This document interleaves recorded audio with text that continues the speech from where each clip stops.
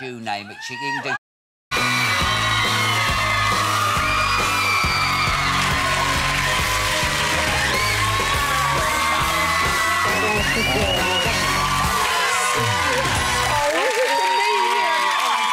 Set yourself down, Flower.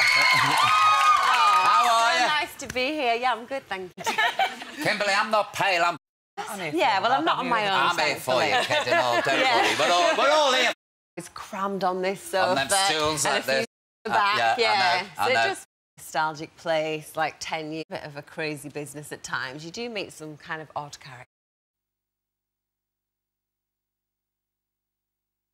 I shall eBay that in 10 years.